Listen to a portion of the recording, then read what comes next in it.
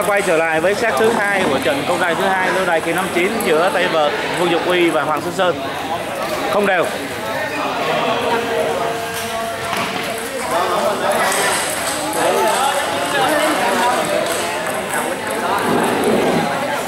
Không một.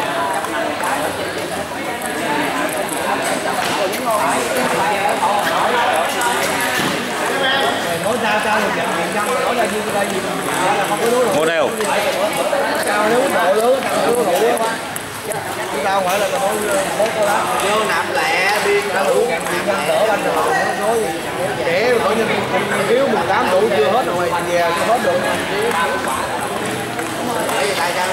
quê rồi để không để được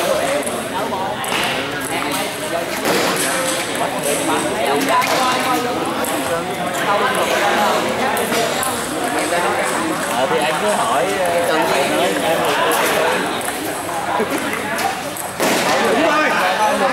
cái lỗ cái lỗ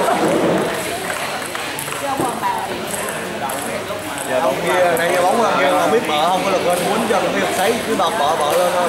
Nó uống gì uống gì? Đó bợ uống sinh hoạt đúng rồi trái về rồi. Trái vô bài rồi. Hai đi ha? Tay trái vô bài rồi. Tay vô bài của dân cùng rồi. Tay trái của trái rồi người gai nữa. Nó đều gai đó cái gai rẻ chứ nó đụng như vậy ta có đánh lưỡi đâu 43.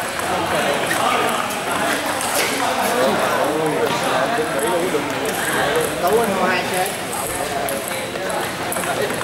đâu có gì mà Bốn đều. hết đi mẹ rồi tiền nữ Việt Nam đã chín mươi mấy rưỡi là trăm mấy luôn á bố nghĩ cho mày bi đây mình không có chầu bưởi nè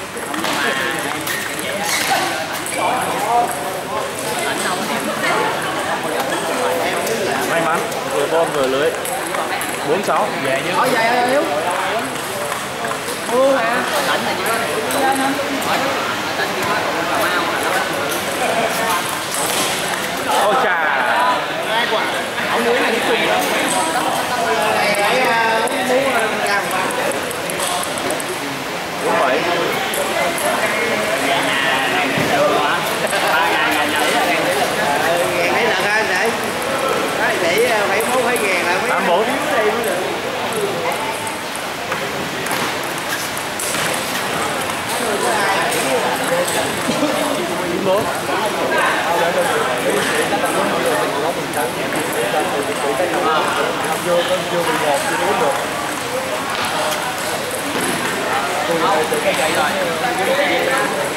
bốn mươi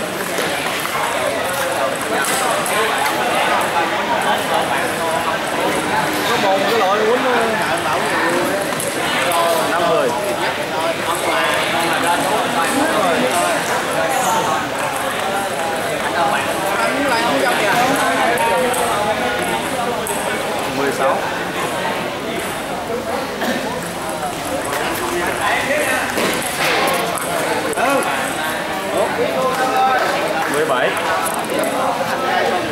dở dở lên quy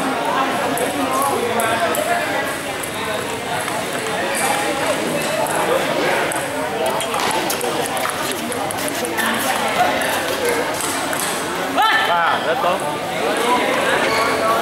Và 11 7 như vậy sau hai set thì tỷ số đang là 2-0 nhưng về đại chủ Hoàng Xuân Sơn